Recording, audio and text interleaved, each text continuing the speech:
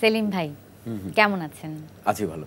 ক্যামেরার সামনের সেলিম ভাই আর পেছনের সেলিম ভাই কোন জায়গাটা আপনি বেশি এনজয় করেন?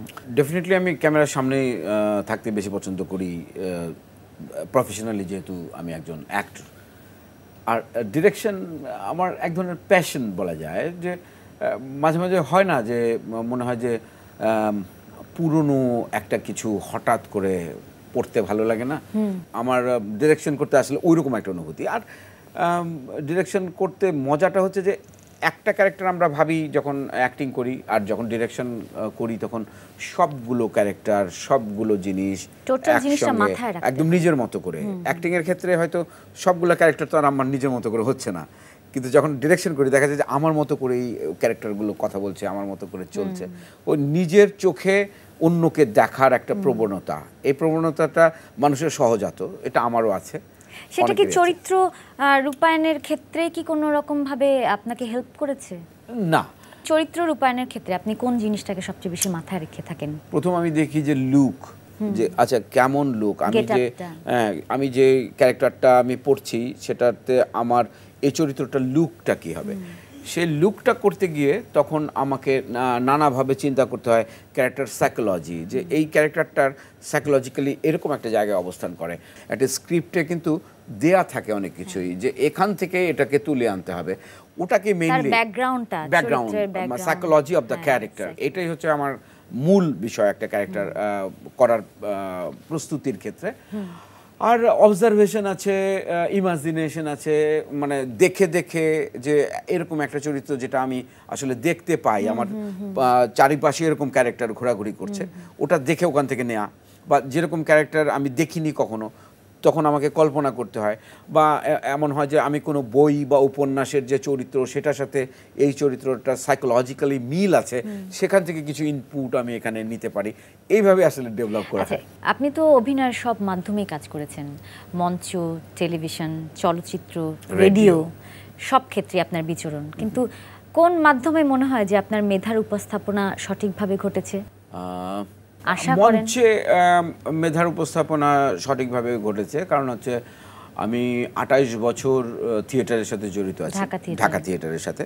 তো আঠাইশ বছরের মধ্যে প্রথম সাত বছর আমি মৌলিক কোনো ক্যারেক্টার করতে পারিনি মানে আমার সুযোগ হয়নি। আট বছরের মাথায় আমি মৌলিক চরিত্র করা শুরু করি। তো তারপর থেকে দ্যাট ইজ এইটি নাইন থেকে শুরু করে অদ্যাবধি দুই হাজার এগারো পর্যন্ত ঢাকা থিয়েটারের যতগুলো উল্লেখযোগ্য প্রোডাকশন হয়েছে তার মধ্যে দুটো বাদে বিনোদিনী আর হচ্ছে নিমজ্জন। এই দুটো নাটক বাদে প্রায় প্রতিটি নাটকে আমি মুখ্য ভূমিকায় অভিনয় করেছি। এটা হলো ইসের দিকে আই মিন টু সে যে স্টেজের। কিন্তু টেলিভিশনেও কিন্তু আমার বিচরণটা শুরু হয়েছে এইটি নাইন বা নাইনটিজের থেকে শুরু একদম নব্বই সাল থেকে। জিরো পয়েন্ট নাটক হচ্ছে আমার উল্লেখযোগ্য একটি নাটক ছিল তখন বা জোনাকি জলে। হ্যাঁ। তো দুটো মাধ্যমে আমি সমানভাবে গিয়েছি। আমার যেটা লাভ হয়েছে সেটা হচ্ছে যে মঞ্চে অভিনয় করতে গিয়ে একটা ক্যারেক্টার যখন আমরা তৈরি করতে যাই তখন নানাভাবে অনেক দিনের যেহেতু রিহার্সাল হয় আমরা কয়েকটা পথে ওই ক্যারেক্টারটাতে ঢুকতে চাই। ওটা করতে গিয়ে আমরা অনেক কিছু পরে বাদ দিয়ে দিই। সাইডের যে চিন্তাগুলো ছিল ওগুলো বাদ দিয়ে দিয়ে বাদ দিয়ে দিয়ে একটা জায়গায় আমরা ক্যারেক্টারটাকে দাঁড় করাই। ওই যে যেগুলো আমি বাদ দিয়ে দিলাম ওগুলো দিয়ে টেলিভিশন অনেক বড় বড় চরিত্র করা যায়।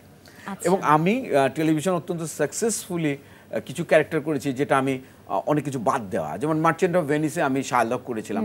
শাইলক করতে গিয়ে আমাকে যা যা যা যা বাদ দিতে হয়েছিল সেটাতে আমি অনেক ভালো ভালো টেলিভিশনে নাটক করতে পেরেছি। আচ্ছা এতগুলো চ্যানেল এসেছে। কোয়ালিটি কি আপনি মনে করেন যে অভিনয়ের ক্ষেত্রে ঠিকমতো মেনটেন করা সম্ভব হয়েছে? না। কয়েকটা জিনিস আছে।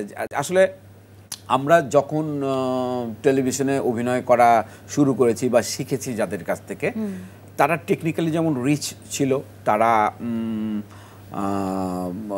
জানাশোনার দিক দিয়ে অনেক ভালো ছিল তারা বোঝার দিকটা ভালো ছিল তাদের কম্পোজিশন সেন্স ভালো ছিল তাদের অ্যাক্টিং সেন্স ভালো ছিল যারা করিয়েছে আমাদেরকে দিয়ে তুমিও করেছ তাদের সাথে কাজ তারা প্রত্যেকে যেভাবে আমাদেরকে শিখিয়েছে ওরকম জিনিসটা এখন নাই। এখন হয় কি দেখা যায় যে একটা বা দুটা নাটক অ্যাসিস্ট করে বা এক বছর অ্যাসিস্ট করে ও ডিরেক্টর হয়ে গেল। আর টেলিভিশন কোম্পানি অনেক বেড়ে যাওয়াতে আর্টিস্টের সময় অনেক কমে গেছে ফলে হয়েছে যে অনেক বেশি ব্যস্ত। একটা ক্যারেক্টার নিয়ে যে ভাবার বা তার যে চিন্তাটা করার যে সময় যে একটা নাটক করে দুদিন বা তিন দিন গ্যাপ দিয়ে যদি আরেকটা ক্যারেক্টারে ঢোকা যায় তাহলে তার ক্ষেত্রে যত কোয়ালিটি একটা অ্যাক্টিং করা সম্ভব এটা হয়ে উঠছে না। আমার জানতে ইচ্ছে করছে যে অভিনেতা শহীদুজ্জামান সেলিমের জীবনে টার্নিং পয়েন্টটা কি ছিল?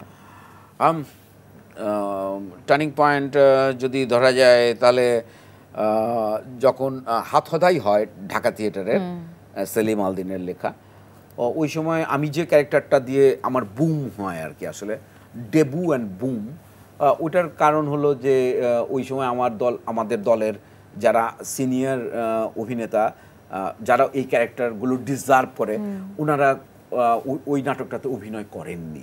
এটা হচ্ছে আমার একটা টার্নিং পয়েন্ট ওনারা করেননি বলে আমি সুযোগ পাওয়ার। সুযোগ পাওয়ার জন্য।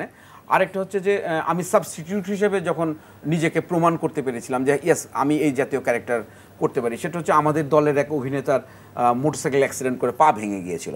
ফলে ওনার সাবস্টিটিউট আমি করেছিলাম। ফলে আমি ওনাকে আমি দর্শককে দেখাতে পেরেছিলাম বা দলকে প্রমাণ করতে পেরেছিলাম যে ইয়েস আমি যোগ্য এলিজেবল তারপরে দেখা গেল যে আমি সুযোগটা পেলাম। সুযোগ পাওয়ার পরে আমাকে আর পেছনে তাকাতে হয়নি কখনোই না।